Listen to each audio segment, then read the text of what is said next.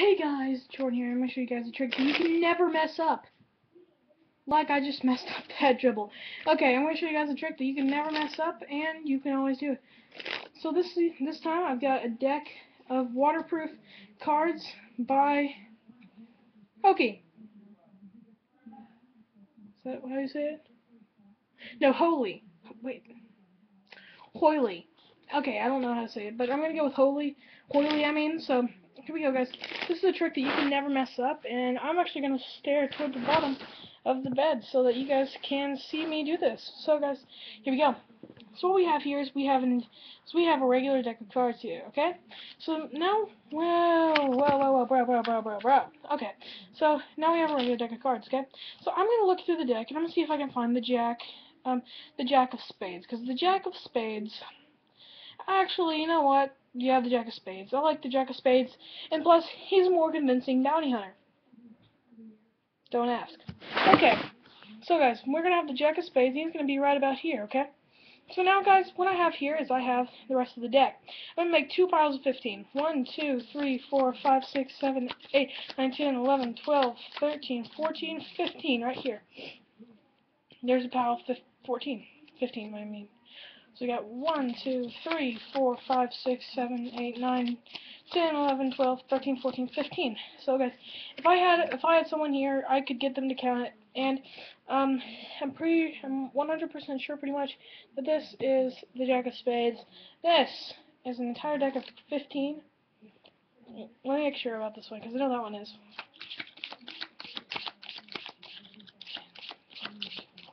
Yeah, it's 15. Okay. So guys, here we go. Okay, so I'm going to cut this deck. So I'm going to cut my deck anywhere in particular. And you can cut your deck anywhere you'd like. Usually I would be doing this to a spectator, but since it's only just me, I really can't do that to a spectator. So guys, actually I'm going to move this down probably. Okay guys, so please just put that right there. Okay, thank you. So now, with the remaining pack of cards, I want you just to pick one. Pick a card. So let's say they, they want this one right here. So, you'll be like, okay, so they'll give you this card right here, okay? Don't know what it is, don't really care what it is at all, so we're gonna, so then you're gonna ask them, put it on top of one of your piles. So they'll say, okay, I'll put it on top of this pile right here. So then, okay, then I'm gonna put the Jack right there. I'm gonna take this pile, put it on top of this pile, put this one on top of Jack, and we're gonna see here, let's see if Jack can find your card. So, we're gonna start dealing down cards.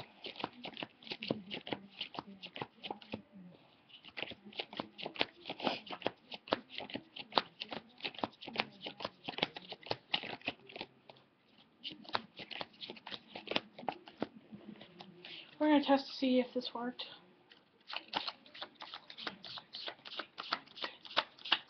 Fourteen, fifteen, we have 16 cards, so I'm actually going to go ahead and put that one there. So, here we go. So, this is the pile the Jack is in, and this pile has 1, 2, 3, 4, 5, 6, 7, 8, 9, 10, 11, 12, 13, 14, 15, 16, Okay, so So, in this pack, somewhere is your card, or at least I'm hoping it's your card. So, we've got this pack right here, okay? So we're going to see, one, I can find your card.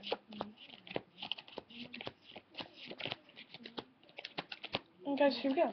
So now we've got this many cards out, and let's see if Jack can find your card. Next he'll be into the final four cards. That could be your card. So, and now we're down to the final four. And right now, Jack should be finding, just about now, your card. So, let's see if Jack has found your card. Jack has found your card, hopefully, the Ten of Diamonds.